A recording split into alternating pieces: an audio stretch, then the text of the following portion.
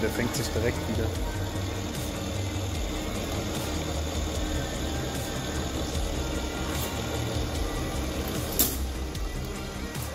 Da kommt das E-Bike dazu.